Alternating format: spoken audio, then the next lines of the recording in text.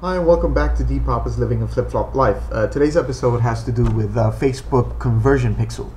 And uh, what this does basically is you collect audiences, your audience that visits your website uh, or blog, and uh, then you can target them with anything that you're trying to promote. It uh, be a blog story, article, you're promoting something as an affiliate. you, if you're creating Facebook uh, ads, you can actually target the people that have visited your website, which is pretty cool. Um, okay, so let's get to it, right? Um, basically, first of all, you need to download this Facebook Conversion Pixel plugin. I think it's uh, free. I'm not sure. Let me check out my installed plugins. Um, but while I'm doing that, let me um, let me explain what's going on here. All right, so I'm gonna go into uh, my Facebook manager with ads audience manager.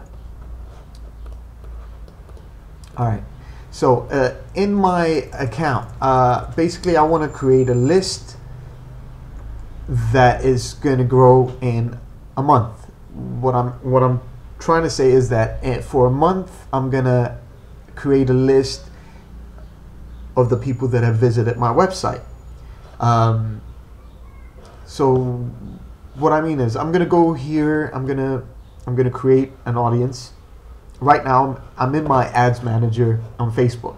Okay, I'm gonna go create my custom audience. And what I'm gonna do is I'm gonna create a list of people who visit my website or any specific page that I'm trying to promote. All right, so I'm gonna click on that. I'm gonna ask, you know, uh, well, I'm going to choose anyone who visits my website. You have other choices here, uh, but I suggest anyone who visits your website.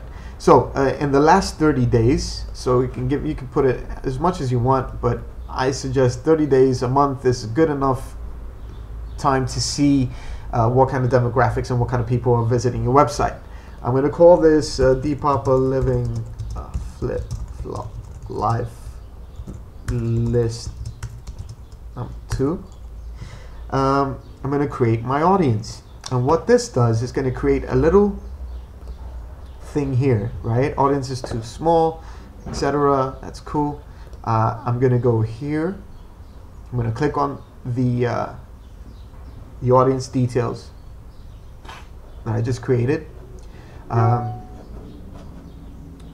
I'm going to go to the pixel because I'm looking for the pixel code of that list. View pixel code. I'm going to copy this, all right, and then I'm going to go back into uh, my uh, website, and right here I'm going to look for the Facebook uh, conversion pixel.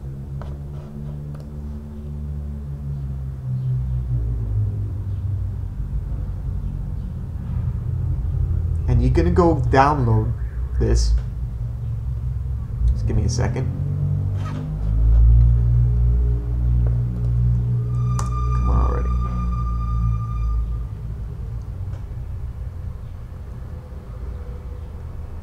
Alright you're gonna go download this plugin.